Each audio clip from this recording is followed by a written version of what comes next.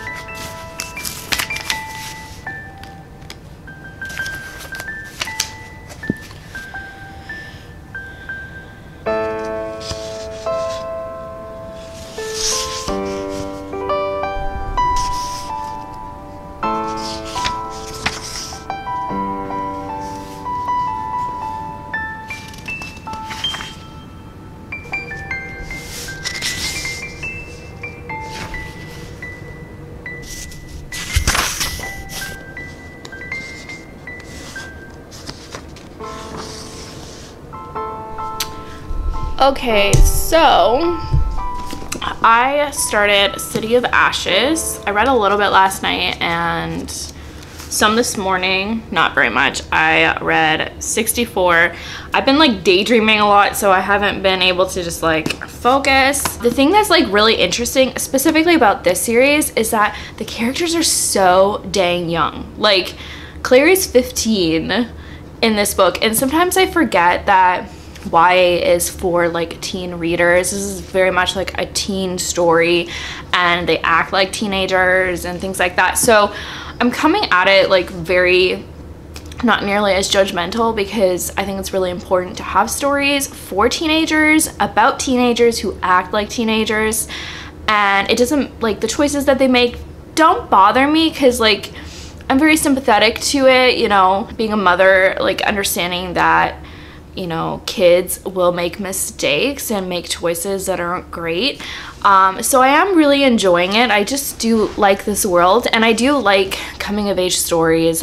Like I like Buffy the Vampire Slayer, right? So like obviously I like those kind of stories. I feel like YA has changed so much though since the series came out. I just feel like YA now is not why what it was. This is for teenagers, right? Like some of the action may be dark or maybe a little bit horrific, but like it's for teens. They make teen choices. They have teen feelings where I feel like sometimes the stories that are being marketed as YA is actually more adult or maybe more like new adult. And I think it's because the people who read YA are like me, right? Like who are older and like those kind of stories. But really they're adult stories. They're just happen to be marketed as YA.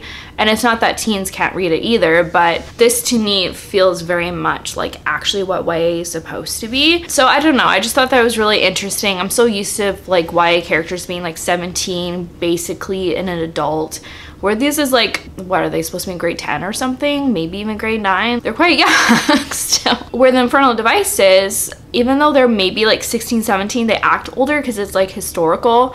And in, in a historical setting like that, Tessa could have been married off. Like she's 16, I think, maybe 17. There's been a lot of girls that age and that time who get married off at that young. It's different. I like it though. I'm enjoying myself.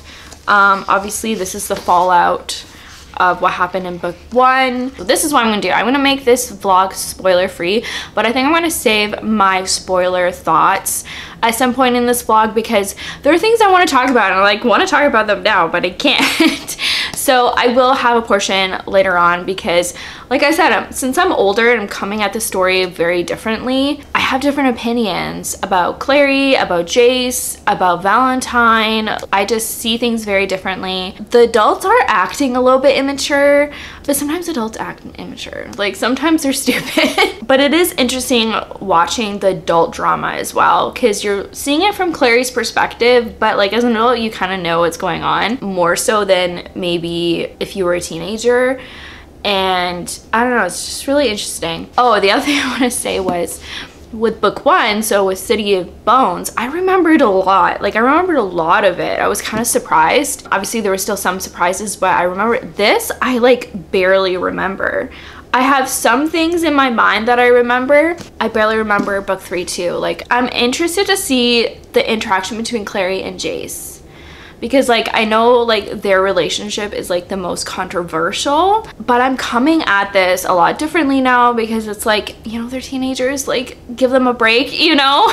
They don't know what they're doing. They're confused. And Valentine is awful. And I think that's more the point is Valentine is awful and not about them. Because in a lot of ways we should give them a lot more grace because they're teens and they don't really know what they're doing. But Valentine knows better. Yet he's manipulative and awful and petty and just a bad he's a really good villain like in a way. He's like kind of like mustache twirling villain which i kind of like. I like those villains. They're fun. They're campy. Um, but he's awful. He's petty and terrible. I'm hoping to like get at least 200 pages if not today. I don't know if I'll make it, but I'm gonna read a little bit more now. I have plans for today. I wanna go to the library because I don't have City of glass. So I'm gonna pick that up from the library with my kids. We're gonna make some cupcakes. We're gonna go to the park. We're gonna do some stuff. So there we go.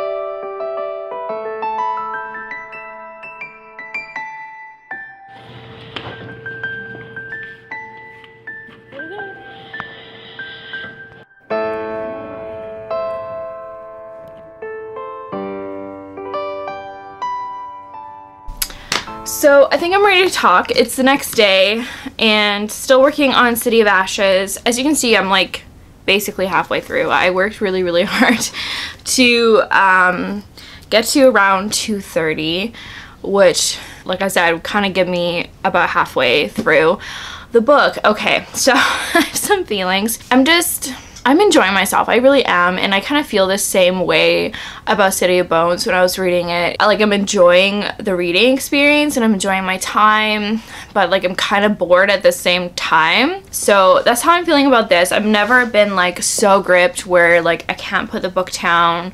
I'm constantly thinking about like, okay, how many more pages do I have to get to in order to like get my reading count and my goal now for like almost every day I don't think it's gonna happen today but it's to read like 200 pages and I pushed myself to 230 so I can at least get halfway through this book right so I was just constantly thinking about getting to my page count. Like I said, I am enjoying it. Why do I enjoy it? I think I enjoy it because it's like urban fantasy, it's paranormal romance. Like, it's one of my favorite genres ever. So I think it almost doesn't matter what I read. I'm gonna like it. But like I said, I was bored. The most interesting part was like Simon's transformation. I think that's all I'm gonna say.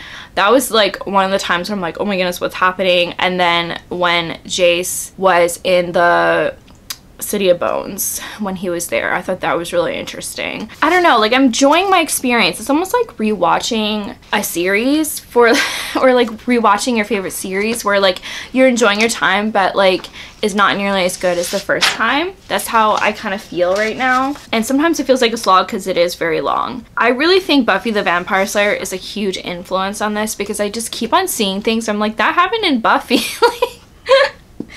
I know I see stuff like that but like in the last book Simon gets turned into a rat and I know that happens in Buffy. And then there was a mention it was just kind of like offhanded. It was just like a side character who isn't like prominent. He was just there for like one scene. And he was a werewolf and he's dating a redheaded witch. And I just thought that was just like I just keep seeing things. And even just like Magnus and Alec, I kind of parallel them with like Buffy and Angel, even though they're not the same characters. The whole like immortal falling in love with a mortal who happens to be kind of like a superhero, like I don't know. I just I see all the things and I can't help but seeing them. I don't know how much I'm gonna get done reading. I have things to do. I've just been kind of like not doing much this morning, been relaxing, but I, I probably will get at least some reading done today.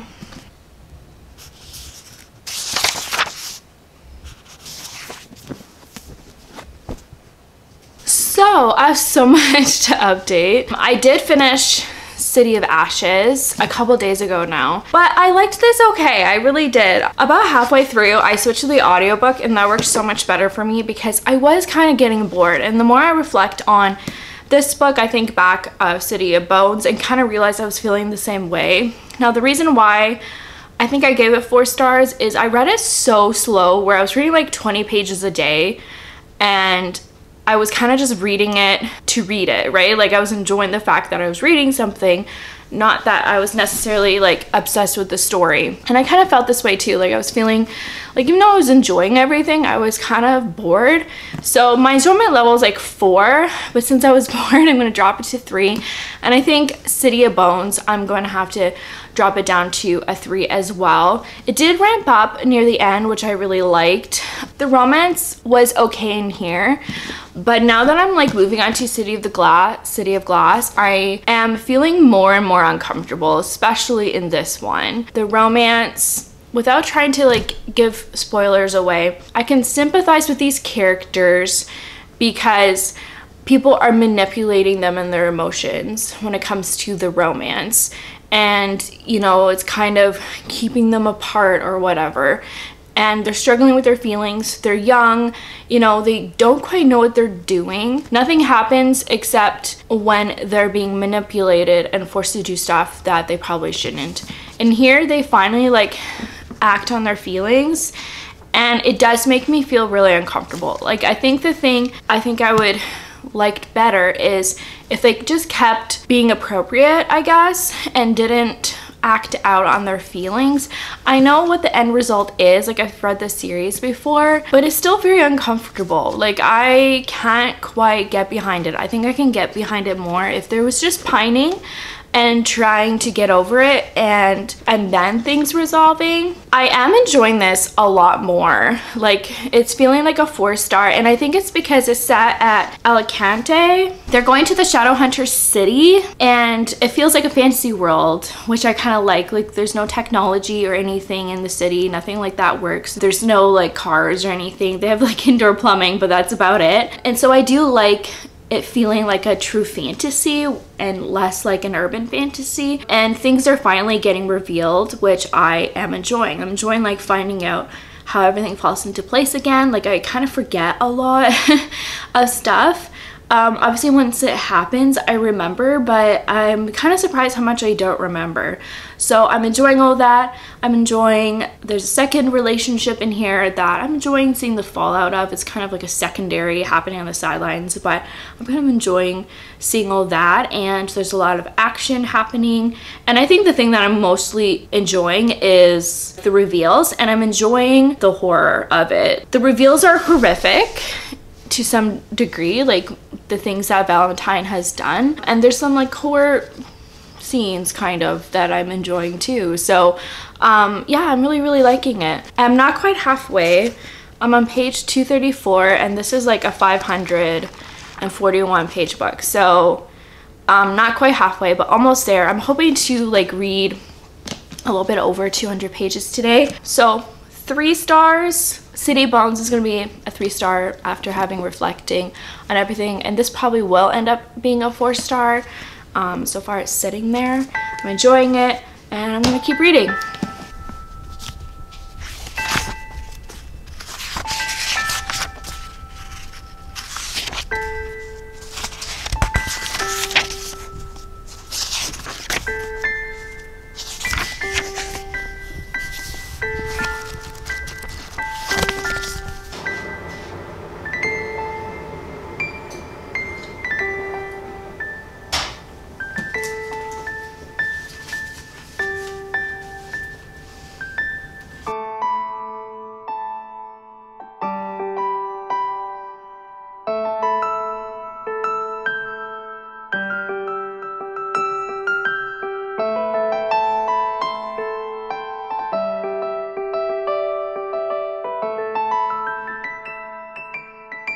I'm just going to lean like this for now. my gosh. Because I'm going to use this to prop you up because the camera's not high enough. Um, I'm on page 440. I deliberately do did that because that means I only have 100 pages left in the book. So I am almost done.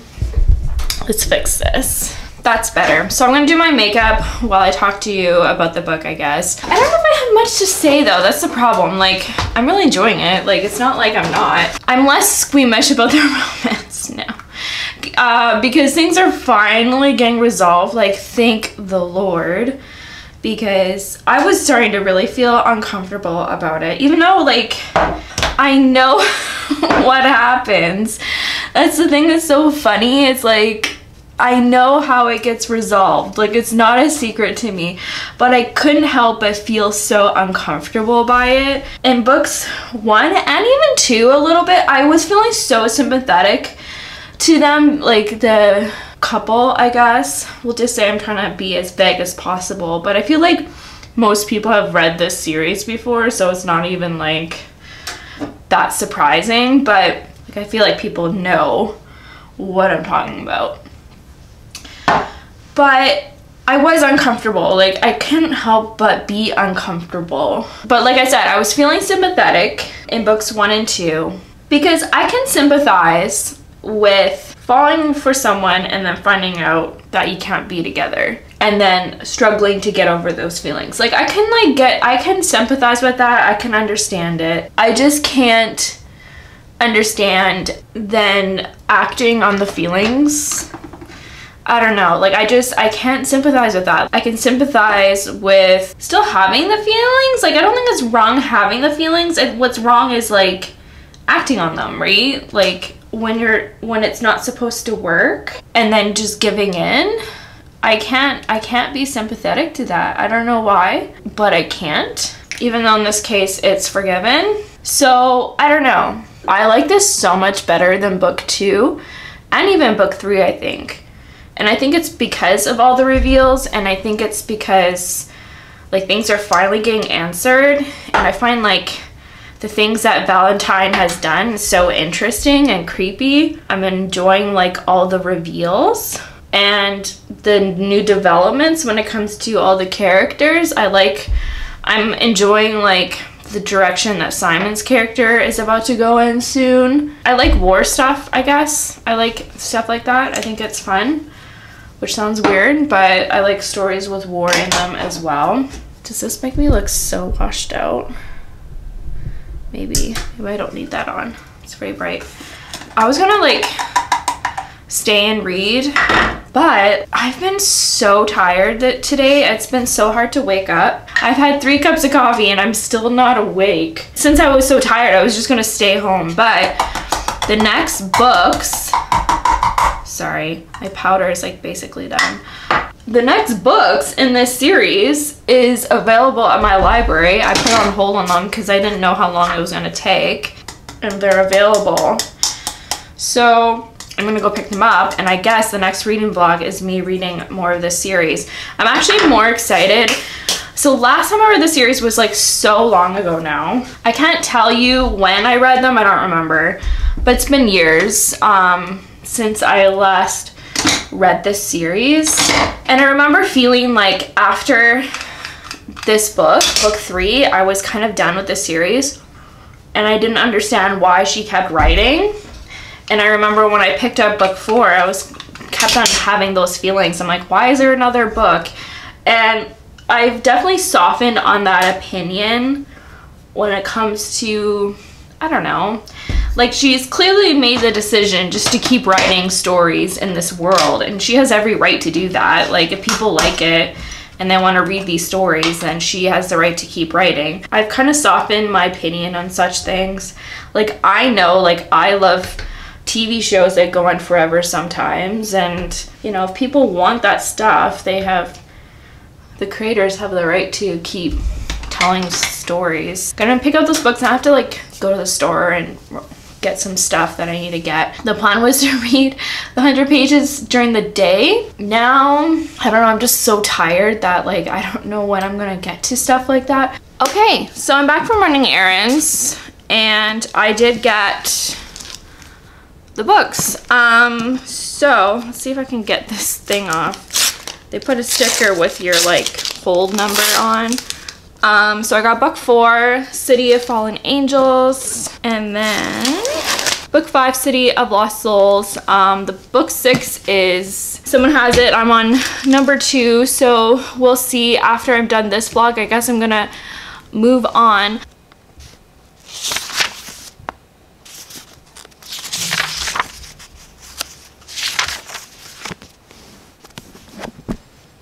So, I did it. I finished it, City of Glass. So since I wasn't feeling the best yesterday, I just I finished it on audio, on audiobook. That's the way I decided to do it. So um, that worked really well for me. So I kind of read this book like physically and on audiobook. I kind of went back and forth, and I like the audiobook a lot. I like the narrator. Um, I forget who the narrator is, but I really liked it. So she does the voices it's a female narrator and she does the voices really well. Sometimes female narrators who do male voices sound weird, but I never felt that way. So I do recommend the audiobook. The epilogue felt kind of long, um, but that's okay. Like, you know, you want everything wrapped up. At the end, I like the callback to the infernal devices there was a bit of a glimpse there that i really enjoyed and I, i'm just glad that i don't know i just liked how everything wrapped up and how everything kind of fell into place, I guess. Um, so I do recommend the series. Um, as of right now, I guess of Bones, three stars. City of Ash, three stars, and then this is a four stars. I still really enjoy my time. Like the three stars are not a bad rating in my mind. Sometimes a three stars for me is, but in this case, it's more like I'm being nitpicky. I was a little bit bored. I think I like City of Bones more than City of Ash because I always like an origin story in um, or just like book one in a series. I always enjoy the setup and I always love the tropes of a girl fish out of water, learning about a new fantasy world um, and learning about the magic systems and stuff like that. Like I always love those. So um, I guess that one's three stars. So I managed to finish that and I did manage to read a little bit of this and I'm like so excited to read this. I was kind of pushing myself to pick up City of Glass at least a little bit, but this like I got sucked in right away. I was like already laughing and horrified at the same time. I couldn't believe that was possible, but I was. Um, some adventures are already gonna happen at first and like I don't know, I just love it. And I love um, the introduction to Cecily, who is Will's sister. I'm really excited to see her as a character, and I'm glad we get to like see from her perspective too. I'm just excited that we're getting introduced to her as a character. I'm kind of like shipping her with Gabriel, to be honest, um, which I think would be so much fun. I'm really excited. I only read 30 pages, but I'm like already like, yes let's go. I'm excited. I had this is the first one in this vlog where I haven't read it before. Um, this is not a reread. This is the first time I'm reading it. And I just love this era in general. Like, historical romance is one of my favorite genres. It's no surprise that I would love this. And historical fantasy, even better. Victorian time, yes, please. So I'm really excited to read this.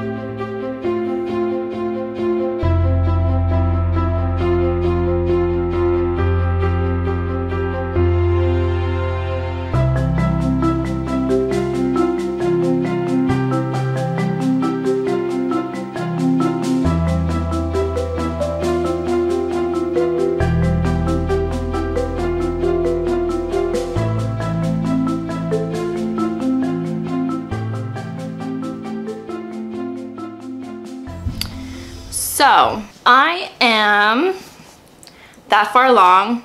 You can see I have a tab there. I've been trying to like divide up my days or how much to read. Um, so I'm hoping to read up to the orange tab this morning and then hopefully finish the book today. I've not been really consistent with my reading, but I'm going to try my best today. So I'm on page 326. It's a 570 page book. So I'm more than halfway, which is really exciting. And as you probably could see from, I think I have at least one clip, if not more. This book has been so emotional. It's been so hard. Oh, I shouldn't be surprised that it's so gut-wrenching, but it's kind of taken me off guard with how emotional I've been. It's just,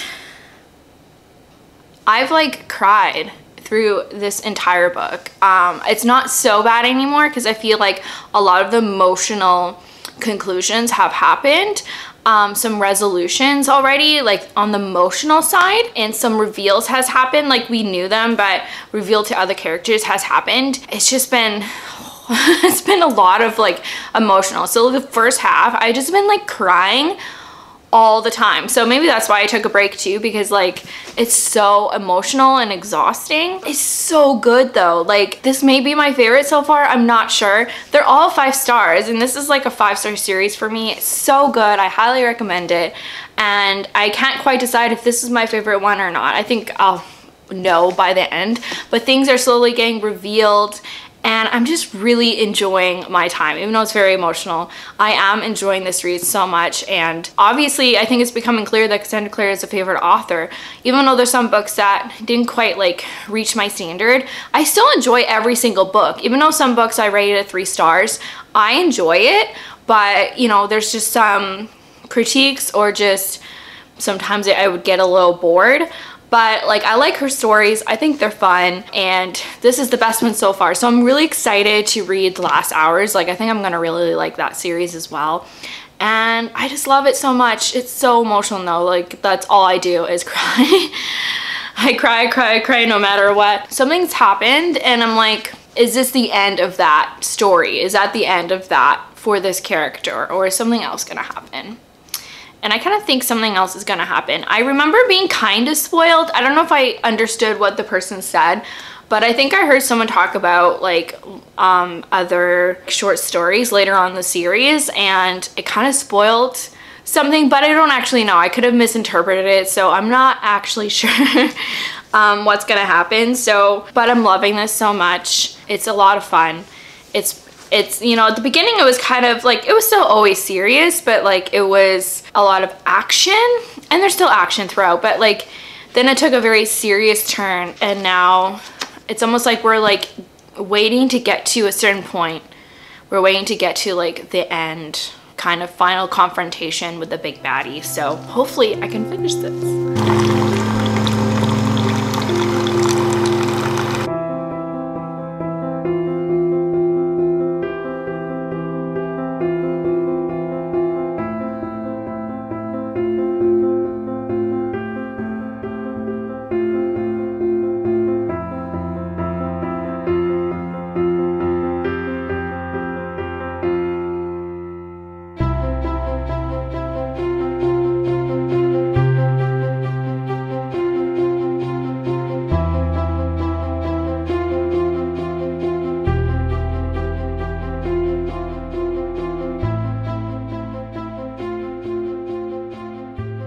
So I've been working my way through. I'm on page 420. I haven't quite reached my goal yet of about 26 pages before reaching my, the goal I wanted to reach. I'm exhausted. Okay. Um, it's, I have only like 26 pages to get to the point I wanted to get to um, early this morning. This book is draining. Like I am drained. It's I'm exhausted. it's just so emotional and um, I'm loving it still. Um, but you know, it's starting to feel like we're getting there. There were some really good moments, but I'm tired. I told you before, Jim, that you would not leave me. And you are still with me. When I breathe, I will think of you for without you, I would have been dead years ago. When I wake up and when I sleep, when I lift up my hands to defend myself, or when I lie down to die, you will be with me. You say we are born and born again. I say there's a river that divides the dead and the living. What I do know is that if we are born again, I will meet you in another life, and if there is a river, you will wait on the shores for me to come to you, so that we can cross together.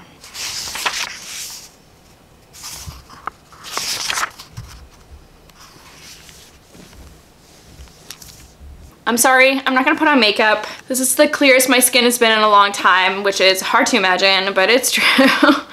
I finally finished this and oh my gosh. So I like read probably like 40% of it yesterday and it took me all day. Like I am such a slow reader and I think I'm even slower when I'm loving a book because I'm such a daydreamer. Like I'd be in the middle of a sentence and I'm daydreaming about the characters and thinking up scenarios. I kid you not, like that's exactly what I do.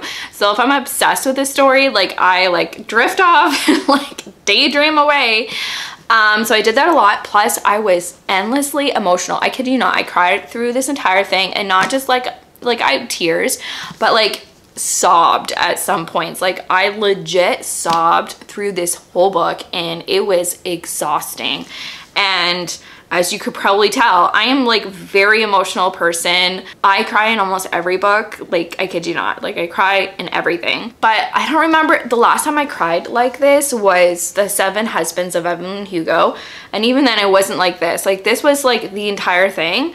Evelyn Hugo was probably like maybe half or more like the last third but that one really hit me. And so I don't seek out there's a reason why I don't read sad books. Like I don't seek them out because it affects me so much. Like this affected me so much. I liked how it ended. I liked how the romance worked out. I did really like it. Five stars. The thing is I don't know if I could ever reread this series specifically this book because you know the first two books had a certain feeling where yes there was there was like a lot of drama and it was fun and it was angsty and it was this love triangle. And it was kind of like on the lighthearted um, side of stories. Of course there was still like emotional moments but like for the most part it was just fun right and this was fun for like the beginning and like that was about it and then after that it was just like an emotional roller coaster for me and so if I wanted to reread any of these books, I would maybe reread like the second book because it has a lot of Jem in it. But besides that, like, I don't think I could ever reread this book because it is just so heartbreaking. And then the epilogue, I kind of wish the epilogue was not there because the epilogue really broke me. It really, really, really did. I almost wish it ended before the epilogue and then the epilogue was like part of a short story collection so we would still get that. But I understand why she included it because it kind of puts everything it gives a lot of closure to a lot of things. So I think I have to go into spoilers now. I think I'll just like talk spoilers for this first because I just finished it and then we'll talk about the mortal instruments. What I was trying to avoid saying is I don't like seeing characters on their deathbed. I don't like seeing that. I didn't mind it with Jem because that was part of the main story, but I would like when we saw Will on his deathbed, like I don't like that. I don't like seeing the entire lifespan of a main character. I don't want to have to see them on their deathbed because it's just so heartbreaking and it's so devastating and like it's it's almost like a tragedy, especially when you bring in like relationships with immortals because they see the love their loved ones die and it's just devastating. And so, you know, as much as there's a lot of love in the story, there's so much like tragedy and devastation. And it is really interesting to see this story from an immortal perspective because normally we're reading from a mortal perspective in these mortal immortal relationships so i do appreciate that but it, it was hard and in a lot of ways by having this epilogue where you see um, the end of her relationship with Will and then moving to 2008 and seeing the beginning of Jem's. Like obviously I love that. I love the fact that both her relationships get concluded, but in some ways it kind of dismisses this entire book because I would have preferred to for it to have ended where Will proposes and then you know it feel in some ways it feels like you get this conclusion this happier conclusion. It ends on a happier note. Where in here, it just like, it feels like it ends on a tragedy. And, you know, of course we want Jem to have his ending as well, but I prefer books that end happy. I don't like it ending in a tragic note, and I guess that's all you could have had for the story anyways but it's so hard to read. Like I found this extremely difficult to read. I was exhausted. I read, like I said, I read like 40% of this all yesterday. That's all I did. I was just reading this book because I just kind of wanted to get it over with. And it was so exhausting. By the end, at like I started 9 in the morning and I finished like 9.30 at night. I was so drained. I felt like people died in my life. like that's how emotional I was throughout this whole experience. Like I said, I almost wish it ended with Will and then the whole epilogue kind of like was part of a short story collection. I understand, like I get it, why she put it there. It kind of lets Tessa have both of her love stories. Um, honestly, when it comes to like the polyamorous um, romance, I kind of prefer it this way where they take turns. I was not expecting Jem to become a silent brother. That was crazy. Like I kind of had a feeling they were gonna make, she was gonna make something work. She was gonna do something, whether it was like getting raised from the dead or something. Like I felt like something like that was gonna happen. I had no idea he was gonna be a silent brother and like that whole experience. like we had the, this emotional roller coaster of like thinking Jem was gonna die and then thinking he was going he was dead and Will thinking he was dead and mourning his death and then this other emotional thing of him being alive but making this choice of being alive but separate from them and so in a lot of ways he kind of did die and then this whole emotional side of like seeing Will die and then this other emotional part of Tessa being alone and then finally getting Jem's but like also knowing that their story is going to end tragically because people die. Like, in some ways, mortals dying, like a mortal being with another mortal, there's almost like this peace and understanding that, you know, at least death kind of saves you from grief. And seeing Tessa living forever and constantly suffering and never finding peace is kind of sad. Like there's some kind of tragedy to it. It was hard. It was really hard. I did really like it. I still gave it five stars, but I don't know if I could ever read this again. Now, The Mortal Instruments. I feel like the thing I really wanted to talk about was mostly like and Clary's relationship. I was starting to lose sympathy for them in book three because they eventually like kind of act on their feelings. And I did find that really uncomfortable. I didn't like it. I would have preferred if nothing happened and they were just still getting over their feelings. But the fact that they gave in bothered me because I don't know, like I can be more sympathetic to a character who is struggling with feelings and know they shouldn't, should be over it but isn't, than someone who does that and then acts on them. So I kind of would have preferred if there weren't some scenes and then maybe had a more good reunion once they realize the truth. I think that's my opinion on that. I know there's this book I really want to read called Downworlders, Shadowhunters and Downworlders or something like that.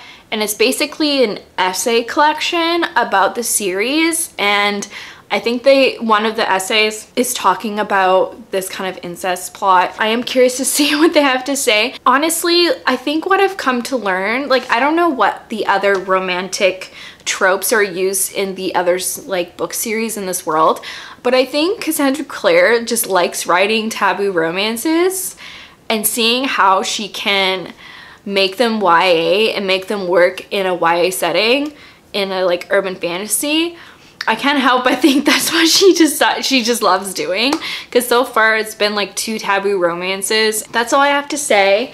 So it's time to conclude this video. I hope you really enjoyed it. City of Ashes, I gave three stars. City of Glass, I gave four. And then obviously Clockwork Princess, I'm giving five. I thought I'd make this infographic of all the books in this universe and so here it is. Final ranking is city of bones three stars. City of ash three stars. City of glass four stars. All the infernal devices clockwork angel clockwork prince and clockwork princess are all five stars. So Cassandra Clare is a favorite author as of right now. Like I've given three of her books five stars. A lot of creators kind of use that barometer where if they've given three books from an author five stars, it's a favorite author. So Cassandra Clare is a favorite author now. I didn't think that was gonna happen. I hope you really liked this video. If you did, please give it a thumbs up. Please subscribe. If you have not done so, you can follow me on Instagram and Goodreads. And you know what? I want you to keep reading. Bye.